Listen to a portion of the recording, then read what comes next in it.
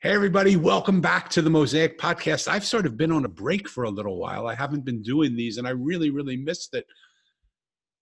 And in coming back, one of the things that never ceases to amaze me is how I can ha- I can meet and have a conversation in a few minutes in a green room, but even before the green room conversation with our guest today, just reading about what he did it sort of blew my mind how similar the work he's doing and the work I'm doing are, and how how does that happen? The two complete strangers who've never met each other, never discussed anything, never talked to each other, never even knew each other existed between eh, 14 seconds ago, come together and suddenly realize that they're they're doing similar things in very different ways but they're doing very similar things and, and bringing about a change in the world that is very connected and very alive.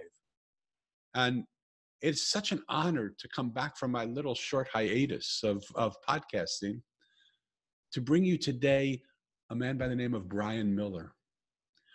I found Brian on a TEDx talk that he gave that, by the way, just happens to have been viewed by 3 million people, um, which is like unbelievable uh, he is a magician turned author, speaker. He has his own podcast.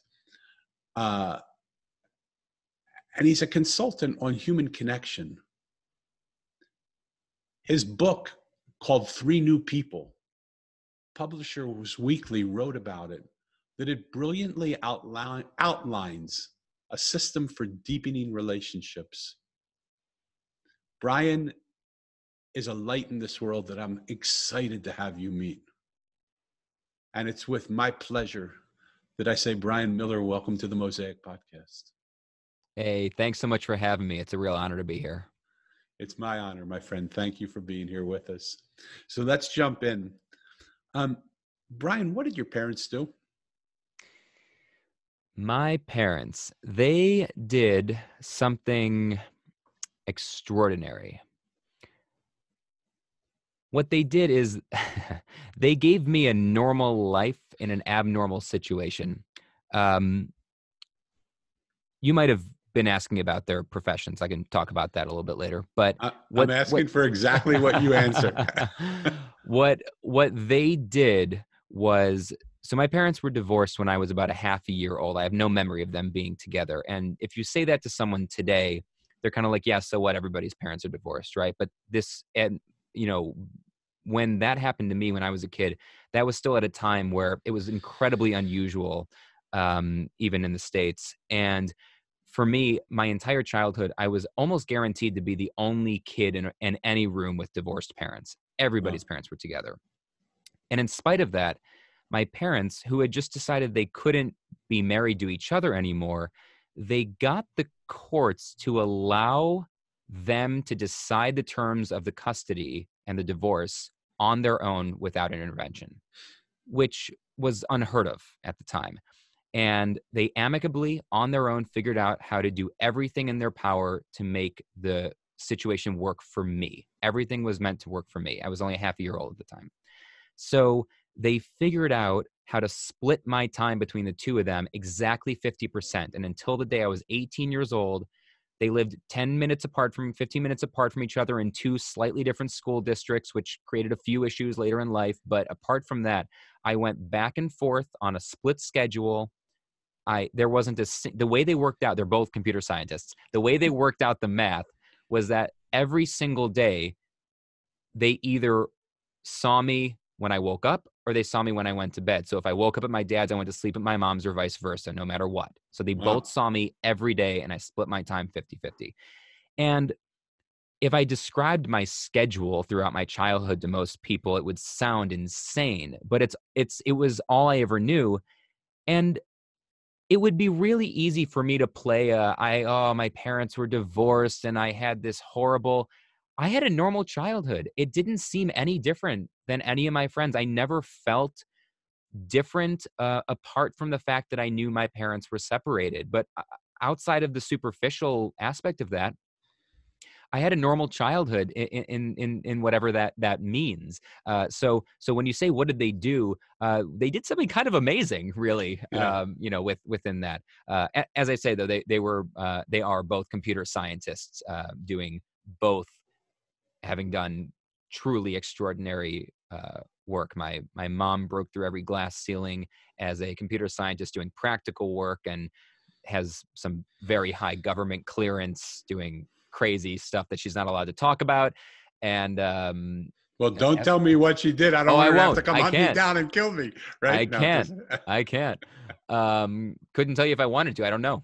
I uh, I I only know the bare minimum. Uh, but then my my father um, made significant um, contributions uh, to the world. He's he's actually a world renowned um, computer scientist. He he about 30 years ago he was on the forefront of bioinformatics which was taking supercomputing technology and applying it to medicine and the algorithm he invented to do that um, helped somebody win a nobel prize and then my dad's algorithm was called one of the top 10 algorithms of the 20th century and so he's Wow. been on every who's who list in the world and i did the obvious thing and became a professional magician so are you? how's that you- how's that to start the podcast you know, you know what? There's certain questions, and it and it always surprises me that when you ask just a very simple question like, "What did your parents do?" It sort of sets the tone for every podcast in, in some Mhm. way or another. It's just it's just so interesting to me, and it, and it came as a surprise. I never realized it did. But you said something I want to clarify if I can, because Sure. at one point, as you were starting, you said, you know, my parents were separated when I was half a year old and it always made me feel a little bit separate because none of my none of, none of the kids in my in my community or or neighborhood or whatever it was um, had parents that were separated. They all had their parents together. And then a few moments later, you said, "But I ra- I was raised in a completely normal situation." Mm. The reason I'm asking is I lost my dad when I was 13 and my mom when I was 15, two years later on the same day. i'm sorry Uh, thank you. And there is nothing that any like I was not as similar as I was. I mean, I was a jovial guy who was always had a lot of friends, but there was a part of me that never felt like the world could understand me because Mm. none of my parents, none of my kids lost their parents. None of them were were not. They were never divorced because it was so long ago that divorce wasn't even a possibility, right? sure but they didn't know what it was like to feel the deepest pain that I felt. And when I wanted to go talk to somebody about it, I couldn't talk to them. They could say nice things, but they couldn't know the depth of that. Did that happen for you, or was that not the way you? That's where I thought you were going, and then you said, "But I had a completely normal child." Yeah. So superficially, I had a fairly, you know, I, I I had a normal childhood. I did all the things that kids do. I I went to um I, I played sports and I played music and and I was in whatever and my parent whether whoever's day it was, the other one came to everything. They just went to everything. Um but I I not in any way relate like not to the depth of the loss that you went through obviously and going through that as a teenager i can't even imagine. My my wife's actually a um, a, a therapist and um, uh, works with families she's a family therapist and uh, she deals with that kind of stuff on a day to day and i i can't uh, i can't even imagine because i've never gone through anything like that. Um but within the context of my my situation. Yeah i always i mean i felt like something was different about my life because you know I, I i went back and forth between two very different houses. It was really more less of a function of the divorce and more of a function of that there were two completely different parental philosophies in the two different houses. I was raised by my dad on one side and he got remarried once or twice and you know so step parents came in and out of my life on the other side but he was the parent on that side. And at the other house my mom was remarried by the time i was two and my so my stepfather is in all of my memories uh, on uh, and so i have no memories. So he he was a parent. I kind of had three parents right? And my stepfather set all of the rules at the other house and i have my two siblings my brother and sister who are technically half siblings but they've never been anything but my brother and sister to me because my stepfather has been in my life since i have memories right, right. right. so my me and my brother and sister were raised by my stepfather and then i was raised at the other half of my life by my dad and my dad was very democratic he was very liberal he wanted uh, not in the political sense but in the sense of he always wanted to make sure that the rules were agreed to by me and him he wouldn't just say this is what it is he would say here's what i'm thinking how do you feel about that and what would happen is as a result of that if i ever broke a rule i was breaking i was breaking my own rule because Right. i had Beautiful. agreed to it we had worked on it together Beautiful. but then my stepfather, and this is not to say ill of him, it was just a different approach. He was just kind of the dictator. It was the it's because I said so and I'm the parent and that's it. So you got a lot at that side. You had my brother and sister were really rebellious for a long time and they would break the rules every chance they got. Yeah. Whereas I never broke a rule ever at my dad's because it would have been ridiculous to do it. So less to the extent that my parents were divorced and just more to the fact that I had just these conflicting ideologies. Things that were appropriate at one house were totally out of the ordinary at the other house, and vice versa. And for most of my childhood, there were also different financial situations of very, which I didn't realize as a kid. And I've apologized to my mom so many times as an adult, and she's doing phenomenally well now. But as a kid, she was just scraping it together and trying to make ends meet. And my dad was doing very well for himself in this amazing career at the beginning of this heightened thing he did. So just the disparity between the two households in retrospect really set the tone for my life and my work ethic and my ethos um, navigating totally different perspectives that are equally valid Yeah, Right? totally, totally. yeah So it's really interesting that you bring it up because one of the things that I believe is the places where we have the most problems are not when our core values go against something we don't believe in because our core values always i mean we we sometimes are lustful or immoral or whatever it is we we end up doing but normally our core values and that will win out eventually right Yeah. but it's when our core values are in opposition with each other yeah when we have one core value that says integrity and another core value that says I want to be loved, or when we Mhm. have an, one core value that says the rules are the way we live our life, and the other core value says no, it's a democracy. There are no rules unless they're the ones that we make. How did you piece together? How did you connect those two realities? Because you're literally also destabilizing a stable environment, even if it's only 10 or 15 minutes away. You're Yeah. living in a different place, in a different room, then going maybe going to a different, you know, a set of friends, driving to it, you know. I mean, how did you make peace of that? It's a, it's a, it's.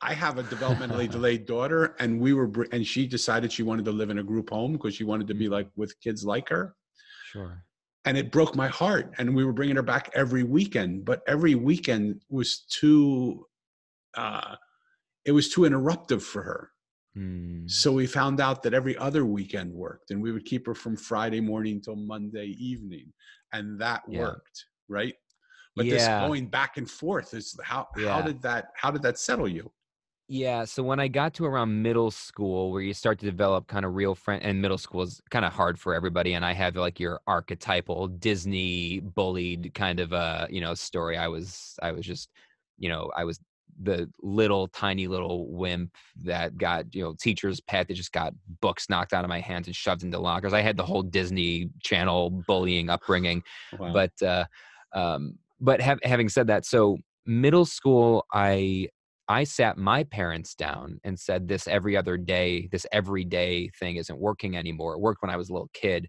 I said I need longer periods at each house, so I started having kind of like three days on, three days at the other, two days, two days. At least there was some con- a little bit of consistency, and then I had sat them down again when I went to high school and said I need a week back and forth yeah um, and, and so I, I, and you know, I would sit them down and tell each one, you know, we all gotta have a conversation. This isn't working. And so, when, once I got to high school, it was a week at one house and then a week at the other, and um, and that was just to help me with.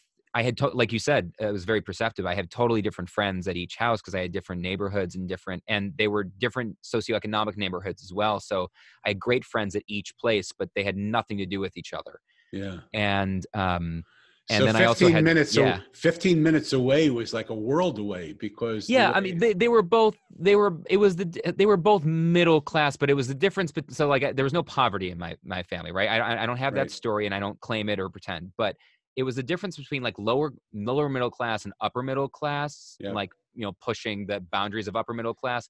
So it it 15 minutes made a they were both good schools, but they were the difference between like the eighth best school in the area and the number one school every year for 50 years in a row. It, Wow. it, it was that difference, and it's it's not a, a, a it's I'm not telling this as a tragedy, just as a it's the back and forth that really throws off um, how you deal with day to day situations and how you see um, problems being dealt with. My dad dealt with issues very differently than the other household dealt with issues, which is a product of so many variables. Yeah. Yeah.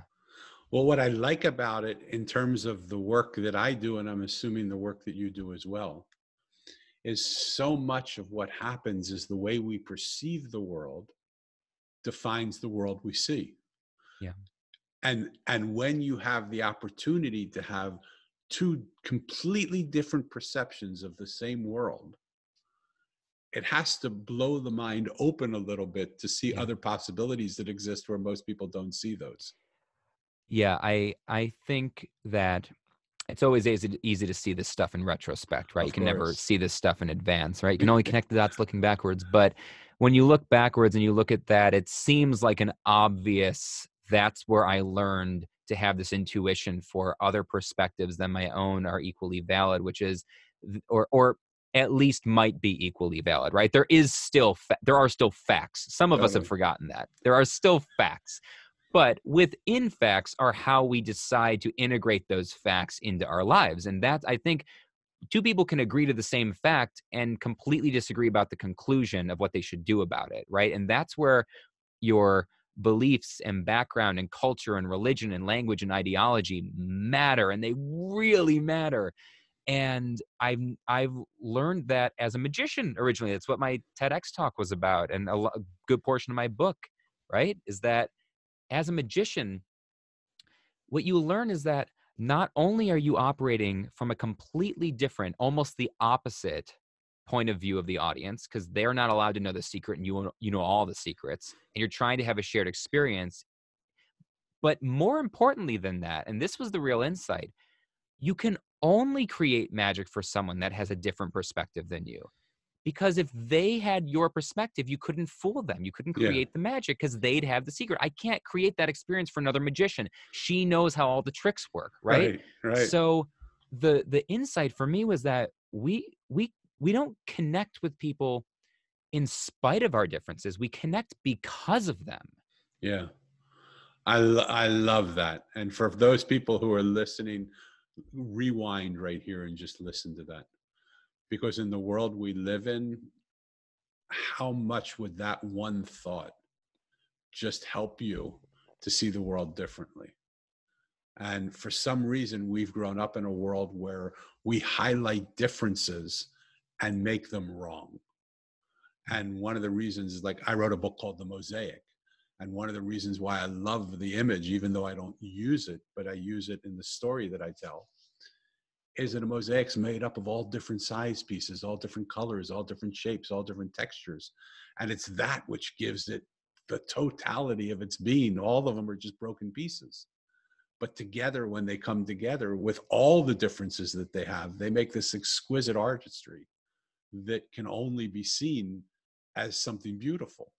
Yeah. And i don't know why we can't get that as a world. So let's let's segue a minute because i, I want to be uh, like i could talk to you forever. And and i love the way the conversation's going and i love your vulnerability and your honesty. Um what brought you to magic? Why magic? So I got into magic just as a fact of being around it. My dad and my grandfather were magic, my dad and his father were magic enthusiasts. Neither of them ever did it professionally, but they loved magic. My grandfather was a uh, a dentist uh, that uh, um, he built a very successful career. Uh, uh, he was actually he, he's a veteran. He was a dentist and he was in the army, and then he built his his biz practice and did very very well. And uh, so, uh, but he also he was trained in hypnosis when hypnosis was first legalized for use in medicine and so he has all these documented like you can you know, like look up the documents where he would back in the early days right of dentistry i mean they, he was like we didn't even wear gloves you know and you're Wow. like wow you know like you forget how much has changed um he like they didn't wear masks or anything and he said though in those days if you had say like I, I might butcher this example but say you had like a pregnant woman uh, who who needed a root canal and she couldn't have anesthetic because they didn't have the technology or the medicine at the time to handle that well he would use hypnosis to do to pull out a live root with no pain and no recollection so Wow. he used so he was interested in uh, you know medical science and that's how his brain worked and so he was into magic so my dad was into magic my dad is is brilliant scientist and people who are really smart especially in the sciences they have this they get drawn to the ability to take something that you know is impossible but make it feel real in spite of that like i Yeah. I love what I love about magic. There's a lot of people that think magicians are trying to convince you that it's real. Most magicians aren't trying to convince you that it's real. The beauty of magic is not that you think it's uh, real. The beauty of magic is you know it's not, but all of your available evidence tells you it's happening anyway. And that rub, that that I, I call it a conscious conflict between knowledge and evidence right? Yeah. You have this this internal ah, like I know that's not possible, but I'm convinced it's happening. There's not a whole lot of things in life that do that to you, uh, and and none of them that do it on command. Magic, my mentor used to say this: magic is the only art form that produces wonder on command Wow. you Beautiful. can feel wonder yeah that's it's not my that's, my mentor said that but he he used to say like you can feel wonder from a double rainbow you can feel wonder from a great musical or whatever but they can't tell you with act they can't say here is when you will feel wonder but Yeah. we can tell you with perfect accuracy the moment you're going to feel the experience of wonder in a magic trick.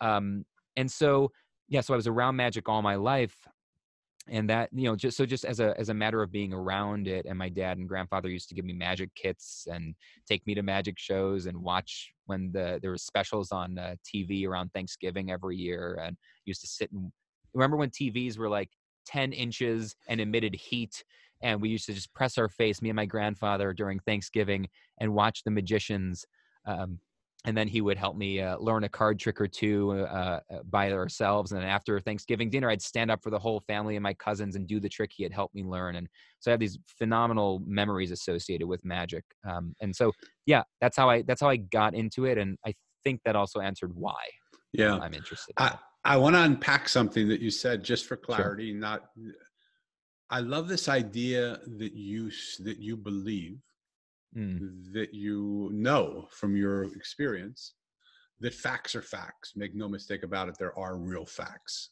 Yeah. I, I don't. I I might question that myself, but that's Mhm. not the question I have. Okay. But it sort of is the question I have.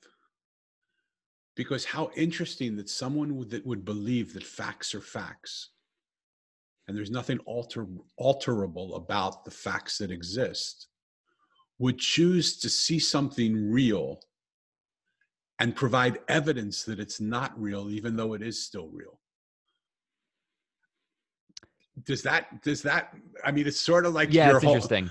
Does that mix with your mind a little bit? Of, Yeah. of Yeah, and I, I can unpack that for you. So that that's I feel like that's one of those things that that feels when you first hear it like a contradiction that isn't when you unpack it, right? So yeah, So the I feel when I say facts are facts, I simply mean there are some things that are true and they're provably true. Uh, they can be provably true, uh, either kind of a priori, right? Just just one plus one is two, and I don't care how you conceive of that, right? It doesn't matter how you conceive of that, right? So there are things that are true simply by their definition, right? All bachelors are unmarried men. It's true no matter what. So we have to agree to something, right? There are facts, and then there's observable facts that with complete certainty are true.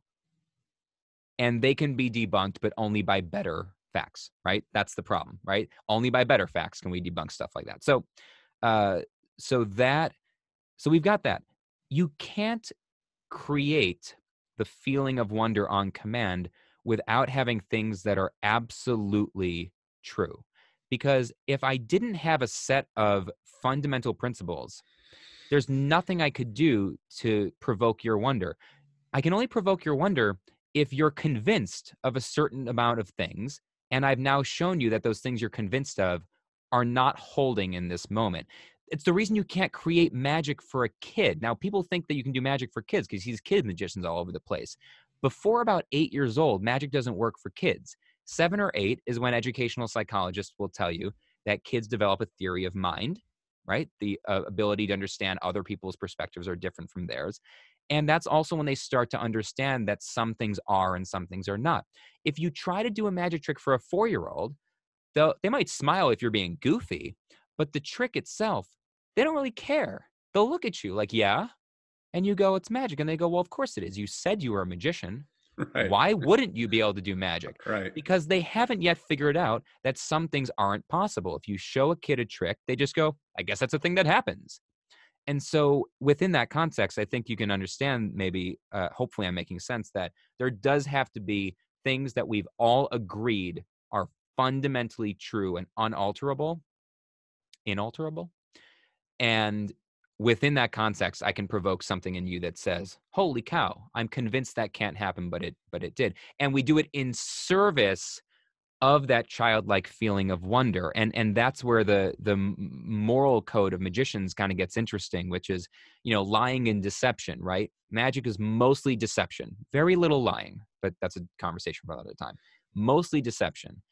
Most places in life we say deception is just inherently bad but it's okay in a magic show. Why? Well, one we've both agreed to the conditions. When you're watching a magician you've entered into a world where the only way for you to watch a magician is to accept being deceived right? So there's an implicit agreement with an audience but there's also the the uh the fact that we're doing it in service of a positive outcome, reminding yeah. an adult, right? Magic is best for adults because we're the ones that have forgotten how to um, see possibility and, and, and where there isn't any. Uh, kids so, still have that. So let me jump in a minute. Um,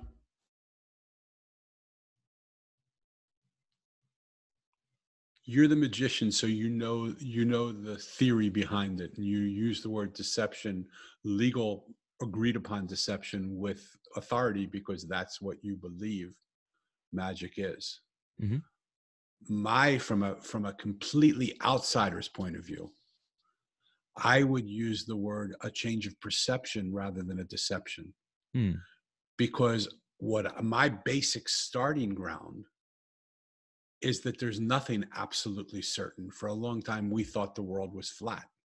And there were sure. people that believed the world was flat for a long time we believed that white people were better than other colors of people. Sure. If you go around to people who are white supremacists, they'll say this is a fact. Yeah, right? I'm just going to interject real quick though. They Please. we believed the world was flat and we and people believed white people were superior be, for bad reasons. And that's that's where skepticism is like is really important, right? It's not just believing things that are true, it's believing things that are true for the right reasons. You can believe a true thing for the wrong reasons and still be doing a, a disservice intellectually, right? You can just by chance believe something that's true but for all the wrong reasons that's that's no good either so so uh, let me let me back back and forth sure, with you sure. okay because what i'm wanting to try and do is use this as a segue to some of the things that you're doing and some of the things that i'm yep. doing now yep yep okay because perceived reality is not reality it's perceived reality mm-hmm. everything right. that i wrote about in my book the mosaic was a boy who loses his parents two years apart and, and he asks the adults where his parents are and they say they're in a place called heaven so this little boy goes out in search of the place called heaven, which he knows exists because that's what the adults told him. They told him there's a real place called heaven. And he sets out for that. And the people that he meets along the way are not the rabbis and the priests and the swamis and the Sufis and the shamans and the medicine men or the magicians. Mm-hmm. They are they are common ordinary people. They're the homeless guy and the trash man and the juice man and the gardener and the and the waitress. And the blind woman and he meets them and he wonders why he's with them. And as soon as he starts to talk with them and really more as soon as he starts to listen to them he hears their story. And the person they become in his eyes completely changes from the one he first saw. It's to me the magic of li- in this conversation it would be the magic of truly listening Mhm. because what you originally see disappears and vanishes because you see something else. Perception. And and so in the world that we live in we have people telling us what we believe we believe is bad or what we believe is wrong or what we believe is good or what if you believe this you're a good person and this is bad person. But it depends what neighborhood you grow up in in a white supremacist world for instance or in a black lives matter world what they believe is good and right will be completely different and there there may be an altruistic over overbearing good and bad but not in that moment to those people. And so what i think like is your what i what i'm doing with the connectivity of what i'm trying to do through this idea of a mosaic and putting the pieces of this world back together is to say what you believe is fine but a change of perception. Just take for a minute the possibility that this is possible. It Mhm. isn't a deception. It's a change of perception. And how would that change your reality if you would actually sit for 10 minutes? I sat with a homeless man in my first podcast and i said what would you what's the one thing you would recommend to a world? Is this the world the world you would love to to see and give over to your kids and he said no way. I said what's the one thing you would like to, to tell people to do? He said i wish people would take 10 minutes out of their life and sit with somebody they don't know and ask them how they're doing. Yeah. when someone did that to me i was about to commit suicide that day. Mm. and i realized i couldn't do it because someone cared enough about me to ask how i am. Yeah. and so that isn't a deception. That's a change of perception so what i really want to do is use this to segue to the work that you're doing now which is using magic and see how the languaging of what you do in magic because look our thoughts create our words our words create our stories our stories create our life. If we change any one of those things we have a completely different story a completely different life a completely different word pattern completely different thought process. And i just wonder now now like we talked about as a kid looking back you know everything looks different. I wish it was that easy to see it in those moments. It's not. Sure. how looking back on the way that you're living your life now and using what the magic of magic to connect people to give people a vision of something they haven't seen would you now look back and maybe reconstruct or would you reconstruct? How would you look at it? Are there any changes you would make in the language that you used in your magic so that the magic of connection could become more connected Are there changes I would have made in my magic? No. Are there changes that you would make in the way you talk about your magic now that would allow it to easily bridge over to what you're doing now oh, versus Oh, sure. the thought that it's a deception? Well, I mean, I do use I talk about magic at at length because I use it. That's my whole career now is built on using magic as a metaphor um, for taking on different perspectives from your own and bridging the gap and creating something extraordinary. You know, in, in the middle of all these different viewpoints, and and I talk about emotional perspective and and all these sorts of things. Um, you know, tactical empathy, all the things that go into doing magic and doing it well. Uh, I mean, magic as an art form, I, I wouldn't if I'm talking about magic on its own, I mean there is fundamentally a deception. Just just just at its core, it's just that is if I lead you to a false belief, uh, if I intentionally lead you to a false belief, that is a deception. That is, and I don't know if you can tell right now, but my my degree and what I abandoned my PhD on is philosophy of language. So this this is kind of the core, and I think language like sometimes people go ah it's just, it's just semantics. And it's like no no no. It's all semantics. Right. right? That that's semantics is the study of meaning. It's like no no no. The words matter. It's like you just said. Your words you know like wittgenstein said famously the limits of my language mean the limits of my world. He didn't mean your your vocabulary. He Yeah. meant the way you talk about the world is the way you can conceive the world. Yeah. um, and so when you expand and change and alter the way you talk about the world, like just changing your own title, it, this is so powerful. When you, uh, so someone who was a hero and I'm now very lucky to call a mentor and maybe even a friend is uh, is Seth Godin, the, the, the father of modern marketing and business legend, and he's been very very kind to me and very um, just very supportive of my work. Uh, he he talks a lot about um, he calls himself a teacher, and he said, "What would it be if instead of calling your customers customers or clients, what if you called them your students?" how would you change your approach? How would you change your marketing copy? How would you change your right your conversation? Yeah. just by changing the way you you if you call yourself a teacher instead of a consultant say you're going to move through the world differently. So our language really matters. Um, so just in that way magic I deliberately lead you to a false belief. I knowingly lead you to to believe something that isn't true just for a moment, right? For the sake of a greater service. Now, that aspect of magic has very little to do with my work in connection. What my work in connection has to do with is the fact that as a magician, you're working through these completely different perspectives. And in order for me to create that moment for you, I can create the same moment for you as this person and that person, but I might have to get there in a different way. And I have to get there in a different way related to how you see the world. Because if I just try to do it via the way I see the world, there's no telling, there's no guarantee that I'm going to be able to get you to a new point of view because I don't know what your point of view is. If I'm trying to create magic, I need to get you to a new place. And that's why I said you can't fool a magician because right. they've got the same point of view. To fool a magician, you need to do something really weird, and we call these magician foolers. You need to do things that have no deception, and you fool magicians because they're hmm. expecting mm. deception. It's the same idea. In order to produce that feeling, I need to really understand where you're coming from and what you believe, because and this is a this is another Seth ism that I'll throw out there. He, you know, he says this all the time. When you're confused how somebody sees the world or confused by a decision that they've made. Uh, they made a decision or did something that you don't agree with. Ask yourself, what do they know?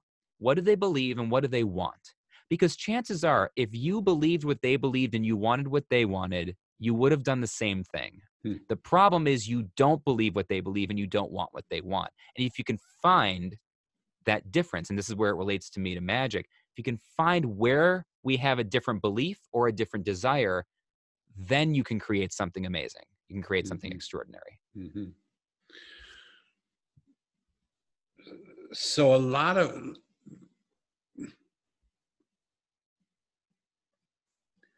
so reconcile for me magic to the world that you live in now. Why do you even use magic in the world that you live in now? Because the world that I perceive you live in now, and I'm asking you how you perceive it, is that you are not deceiving people into connection. You right. are you are you are offering connection to people for them to choose. How does magic, which is at its very heart and soul, the resolution of a deception, mm-hmm the cause of a deception to, re- to resolve, to create the amazement. Fit into a world that is sick of deception, that doesn't want to be mm-hmm. deceived, that deception takes away from connection. How do those overlap? I was trying yeah. to lead you to that place through a different set of language, but you didn't want to go there. So I want to know where you want to go and how you do it. So the the boring answer is i the way that i reconcile is i use magic as as a as a speaker and as a workshop presenter as a way to actually give my attendees um, a a concrete example, a fun, memorable, visual, visceral, concrete example of the things I'm talking about, so that they're much more likely to remember what I'm teaching them by attaching it to something that was visceral and fun and uh, and emotional, right? So that's the boring answer is it's it's a i use magic now as a means to an end where when i was a magician i used it as the end in it in itself um, and i and i see magic as a greater service it's better for me in service of this end than it was when it was an end in itself. That may not have been true 50 or 100 years ago when the world was a very different place. But now it's as you said, people are not only sick of deception. Well, see, I don't know if I agree with that. I think people say they're sick of deception, Okay. but then they deceive themselves and each other on a daily basis all the time. And you only have to be on social media to understand that. Totally. So I'm not sure they are sick of deception. I think they want to say they're sick of deception and then continue on deceiving themselves.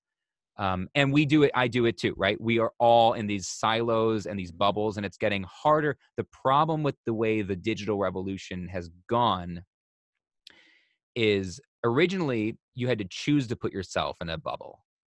Now we're being put in bubbles and we don't even know it yep. we don't recognize that we're in a bubble. You think what you're seeing on the internet is what everybody else is seeing. But there's a very good chance that if you and your friend and that person over there all did a Google search for the exact same thing, you would get three completely different Totally. results Totally. and have no idea.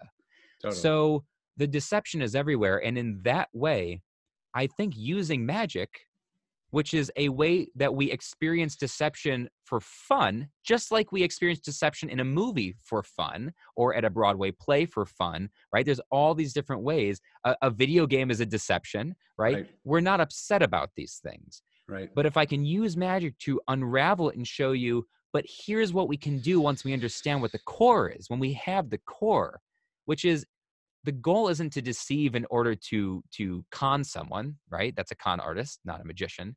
The goal is to deceive in service of creating a shared experience that's extraordinary that brings us back to possibility. We can do that in our conversations, in our day-to-day interactions and just leave out the deception. We don't need that. We just need so so stay with me uh, because I love this and and and and I I feel you here and I love this conversation because it's really real and it's really exactly what I was hoping for because the way you perceive the world is different than the way that I perceive the world and this is where real innovation happens this is where real understanding happens if we can get out of our belief system enough to embrace and listen to another belief system which is Mhm. what I want to do with you to listen to what you're saying hear what you're saying but at the core of what I hear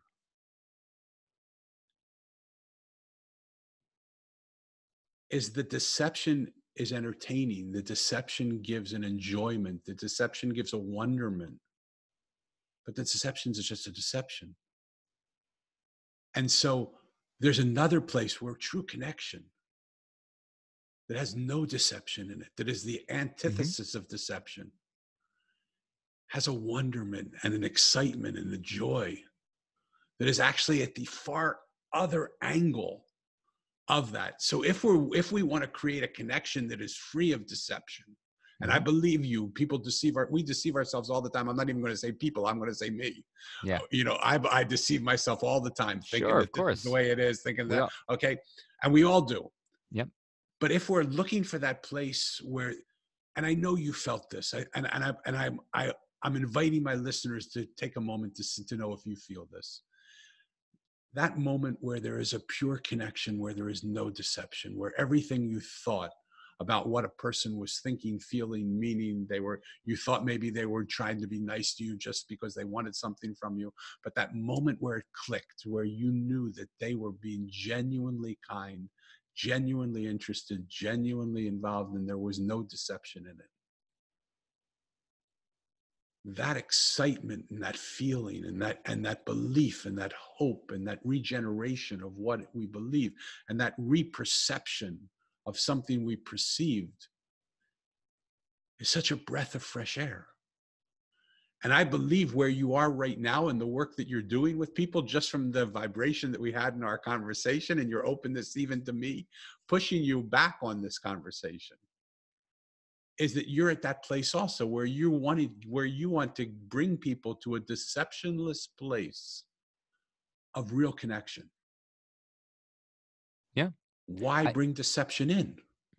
It's well, I don't. I, I we were talking about magic when originally I talked about that. We were really just we were talking about magic as an art form in and of itself, and and the fundamental. That's why I brought that up, and and and it's just in and of itself the only way to fool someone, which is what magic is. If you're not fooled, you haven't experienced magic, right? And in, in as a as a as a 21st century art form, not not magic, the word that people are using the magic of this and the magic, not that. I'm talking about magic as an art form. Magician on stage doing tricks to you know for an audience.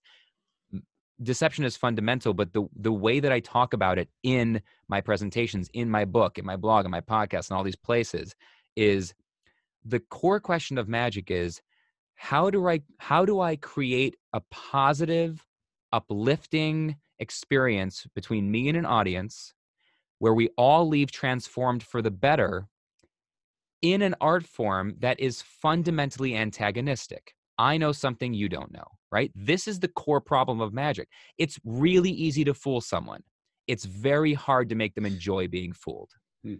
And so, So, the th- can the I job of a magician yeah the job the core job of a magician is to find a way to within the context of fooling someone give them a positive experience that is uplifting and transformative. And that is the way to do that is to create a meaningful connection with the audience. And when we take that into our lives and our conversations and our day-to-day interactions the deception that there's no part there's no part in that that's that's how magicians overcome it that's how i i learned to overcome that with connection i just take connection and teach that Okay. Being the wordsmith you are, humor me for one minute. Define for me the difference between deception and and perception. Because what I I think at the core of my question to you is not being a magician, being a layperson, not knowing anything about magic, and I feel idiotic asking a you know a, a, magician. Not at all. i Um, don't know Really, what I believe a magician does, or what I believed he did before this conversation, which I love how, that you're you're here with me, is I believe that he allowed me to perceive a reality that I thought was real in a different reality for a moment that made me question whether what I believed was real. It wasn't a deception. It was a re it was a reperception of something. And in that if I were to use that language, I would then be able to take the world, that world into the world that I work in, which is we perceive people to be a certain way. We might perceive them to be not as smart as us or not as intelligent, or because they're a Democrat or Republican, they don't have the right way to do it. But if we can take, if we can create a moment where we can allow them to reperceive what it is, and it comes from a, maybe more knowledge in an area. That's what a teacher does in a classroom. They take perceptions of what we think and change them because of there's more knowledge. Why does it have to be a deception? Why is magic so confirmed on this thought that I have to deceive you rather than I have to reperceive you? I just think they're two completely different concepts, and I and I think that the curiosity in this conversation is mostly about the fact that you're using deception as a metaphor, and I'm not. So uh, when I say deception, I mean if I take uh, I don't know, if I grab a a, a, A whole piece of string and make whole- it look right, like if I it's grab- three strings. if I grab something off the table, whatever is near you right now, if I grab a little, if there's a, we're at a restaurant, I grab a sugar packet off the table, crumple it up and put it in my left hand, and you believe it's in my left hand, but in fact it's not. I've pretended to put it in my left hand. There's nothing in there. My hand is closed. The people watching this on video can see this. If they, if you now believe that that sugar packet is in my left hand, I have deliberately led you to a false belief. right. Now, at the moment when I open my hand and show you there's nothing there, right? Okay. So if you genuinely believed that it was in my hand and I open it up and show you it's gone, you will have a real reaction. Now, if you think you're on to me and whatever, you won't, right? Because then you haven't been fooled at all. right. You must, I must deceive you to produce that moment of wonder. I have to. Because if you believed what I was actually doing was true, whatever, if you knew what I was actually doing, there would be no moments of wonder because you'd be like, Gotcha. well, I'm not impressed. There's nothing. So I'm just using it as, as a, a pure concept, not as a metaphor for anything. And I think that might be where I think uh, you're right. We're getting a little great- bit I think that's a great point. Yeah. Um, Uh, for what it's worth, though, I haven't had that much fun in a conversation in a long time. That because usually when I come on podcasts and when I run my own, we have the conversations that you expect to have about how people's careers moved and all this stuff and uh, I haven't gotten to flex like my philosophy muscle like yeah. in a long time in a conversation. So thank you for that. That was enjoyable. Oh, uh, and thank you for going there with me because the whole purpose of this is for people to be a fly on the wall and hear how minds think and how people perceive. Yeah, how, and, but and you've you've really got me thinking about about. I'm gonna have to keep thinking about that now because I, I, had not thought about it in that way. So thank you for that. You're you're so welcome. Um, we've hinted at what you do now, but uh. take a moment and tell us what you do now so that people can can like if they're as intrigued by this conversation, I can't imagine that they won't be flocking to your websites, which I'm going to have in show notes. But tell us what you actually do right now. Yeah. So what what I what I do is I I kind of made it up for myself, but it, it fits within we need a better term for this industry. The industry I'm in is thought leadership, which is ridiculous because when someone says, What do you do? I can't go, I'm a thought leader. Um, like, talk about ego, right? Right. Uh, we need a better term. So, essentially, what I am is I'm a I'm a writer uh, and a oh, I, I like I, I hesitate to even call myself a writer. What I do is I spend all day every day thinking about, talking about, researching, and, and considering the topic of human connection and how it relates to many different fields healthcare and customer service and marketing and uh, personal development, right? All these different areas. I'm concerned with human connection as an umbrella. Now, what do I do with human connection? I write it on my weekly blog. I wrote an entire book about it. I'm writing another book related to it in a different way. I run a podcast. I have a YouTube channel. I'm taking my thoughts about human connection and putting them in as many different possible mediums as I can. So, however you like to collide with ideas, you can. So, mm. I want to make it easy. If you're the kind of person like short form, uh, I got a weekly blog. Sign up for my blog, get an email every week. It takes you five minutes to read it. It gets you thinking a little bit differently about something in human connection. If you're not into short form, but you like audio, I got a podcast, right? If you like visual, I got a YouTube channel. If you so how do I actually make a living though? I make a living from the 20 or 30 times a year when a lovely organization, often big international corporations, but just as often I work with healthcare and education. I'm actually very passionate about working with uh, patient experience in healthcare. A lot of keynote, a lot of those conferences, and um, I work a lot with educators in high school and college. Not, I do some work with students themselves. In the fall, I do a very inspirational version of my talk for incoming uh, college students but most of my work is done for the educators that work with students about educational yeah. environments. And what I do is I give talks and workshops and consulting and coaching to help people build an environment where everyone feels heard, understood, and valued. Bam. That's what I do. Bam. That's what you do. You forget about thought leader. That's what you do. And that, I mean, that's where we resonate because that's what I'm about to do as well. Yeah. Um, as much as I would love to continue, I want to be honored to your time. I'm all right. Uh, uh, and I love this conversation. I hope it'll be the beginning of many conversations that we have. Um, because it challenged me to think beyond the way that I see the world also. And you helped me clarify terms and, and, and understandings. And I so appreciate that. And it's the beauty of conversation. It's the beauty of connection. It's the beauty of listening. It's the beauty of challenging, but then not challenging and holding on to your belief, but listening. That conversation would have never happened in a Facebook thread or a text message. Totally. It has to be this kind of connection. Um, when you look at the world you look out your window and you see the world that we live in.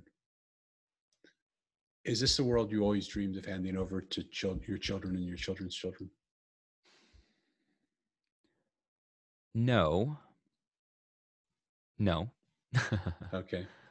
Um, what is it that, what's one thing that you would like to see changed? What's one thing that you feel would move the needle more in the direction of becoming that world? What's one thing people could do? So, what I believe people could do, and I'm not apocalyptic about this, there's a lot of folks in my industry who talk in much more dire terms. I actually think we're on the precipice of the best time ever in in humanity. Um, I think we're dealing with a lot of we're going through these growing pains, and you're seeing it play out in politics and all this stuff across the world right now.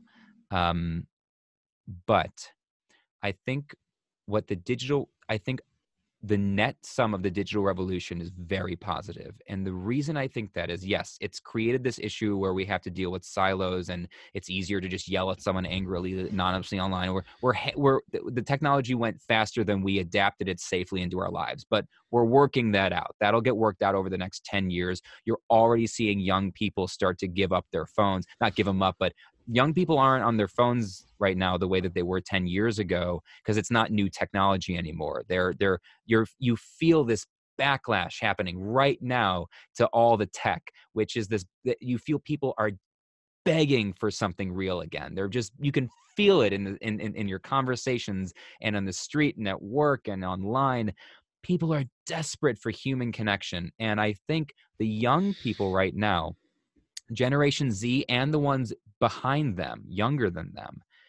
There are, they are, and they're going to be, I truly believe, the most empathetic, the kindest generation the world has ever seen.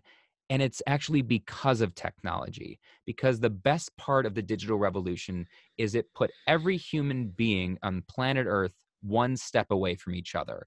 And so you get a six, seven, eight year old kid now that's on the internet and playing their favorite game, they're going to be in a chat room with all the other kids that are playing that game and they're all talking and communicating. They're not thinking about the fact that this person's over in Japan and this one's in Africa and this one's in North Korea mm. and this one's in. They're going, I like this game and they like this game. And so we are connecting over the fact that we like this game. And I think what that's doing is producing an entire generation that's going to take over in 15 or 20 years from now who really are seeing past all the cultural stuff.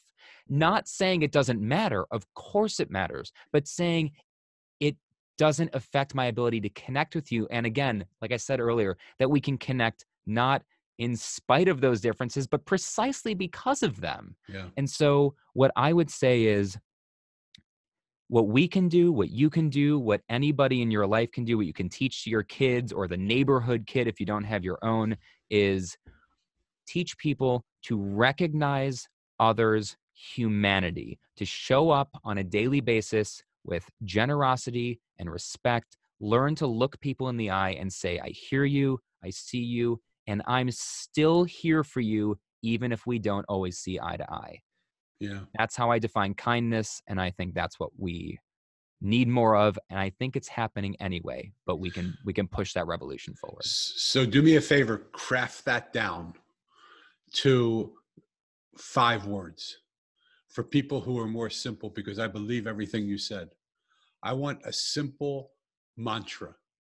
That I got six can, words. Can okay. I use six? Absolutely. Six is perfect. Every person you meet is important. Beautiful. Beautiful. Um, if people want to find out more about you, obviously we're going to have that all in the show notes. But give it give a shout out to how's the best way that people can reach you. Sure. The best way is humanconnection.blog. So not .com, but .blog. Humanconnection.blog. Once you're there, toss an email in, get all the freebies, great resources, and you'll get access to my weekly blog and the community that I'm building right now online. Um, and once you're there, you'll see a link to my podcast if you're interested in that, and my book, and all those other things. The everything I have is free except for the book. The book, uh, I mean, you know, you know I don't make any money. So you know, you have a book. You don't make any money selling a book. Um, I would give it away for free if it didn't cost me money to produce it. So everything I do is free. The book, I'm sorry, not the the blog, the podcast, the YouTube channel, all my socials. You can reach out to me anytime. I respond to every single person that reaches out to me as quickly as I can. Fabulous. So, thank you so much for giving your time, which is probably the most valuable asset we have. Mm.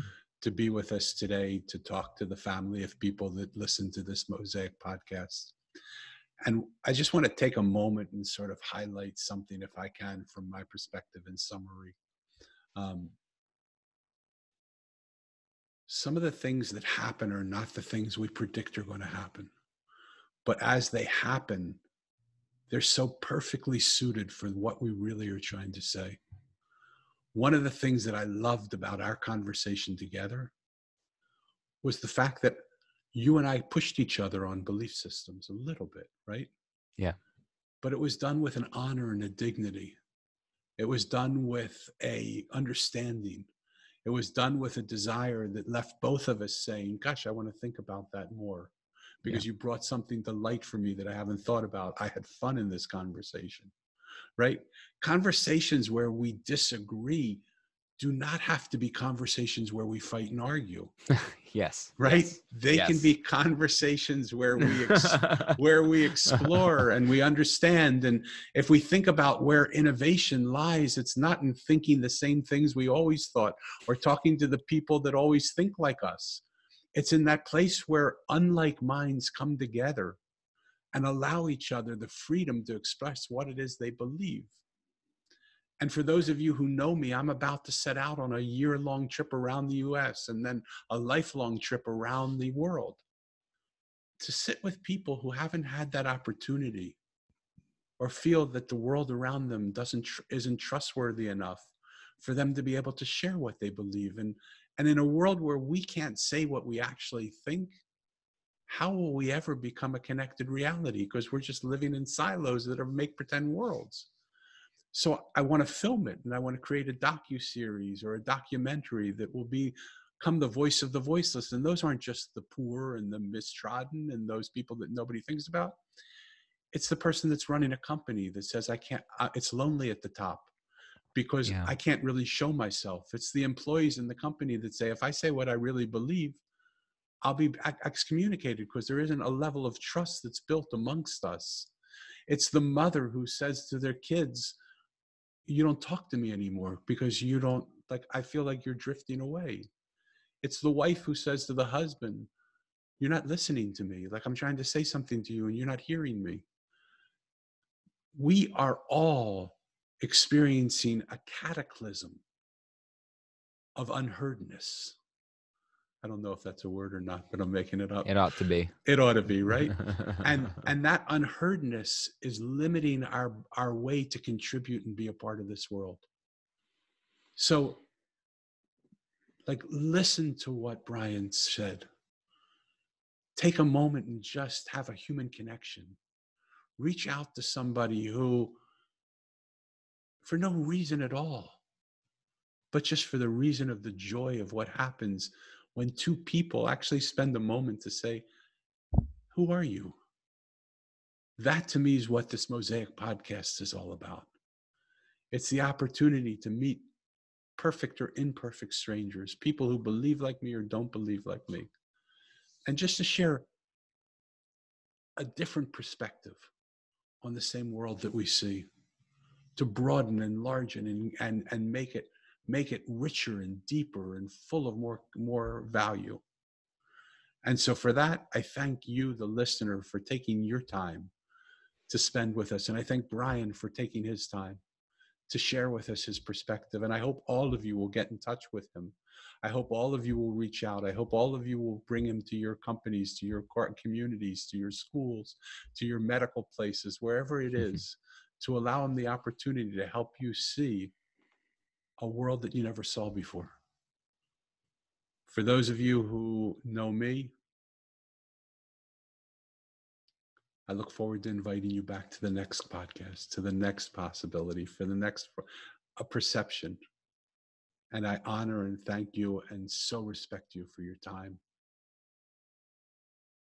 And with that, I say, Mosaic out. Ciao.